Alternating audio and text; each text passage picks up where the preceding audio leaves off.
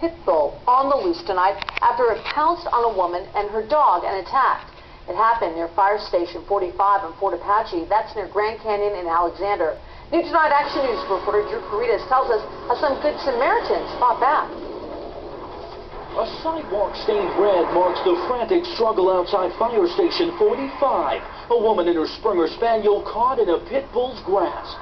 It came from this direction, and when it did, it ran up to the dog, and so I ran after the dog when it went after the lane, and she was right here going out, trying to keep it away from the dog. She's yelling at it. She's trying to push it away herself and they started getting a hold of the dog. So that's when I came up and I took a bottle I had with like a, a chocolate drink I had and I shot it at the dog trying to do that. Manny Weezer spotted the pit wandering a nearby street and walked into the fire station.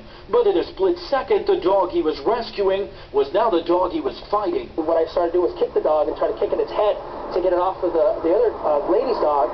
Firefighter Zach Adley ran out trying to pry its teeth off the spaniel, and the pit bull clamped onto his arm.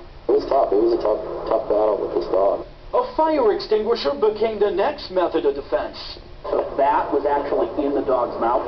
Yes, he jumped up to bite it, and I sprayed him, and he bit it, and I sprayed him again. As everybody hustled inside for safety, the pit bull tried to follow. This is the residue from the last spray of the fire hydrant that prevented the dog from getting inside.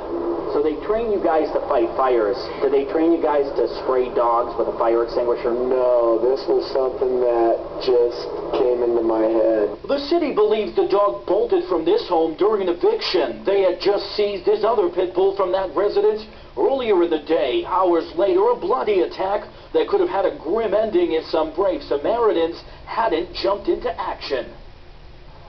And that woman and the firefighter with the cast you heard from were both treated for cuts and scrapes. The Springer Spaniel was also hurt, and we're not sure if that dog is doing all right tonight, but I can tell you Animal Control is launching a 10-day patrol trying to get that pit bull off the streets. No word on any charges for the owner. We're live at the newsroom. Drew Caritas, Channel 13 Action News.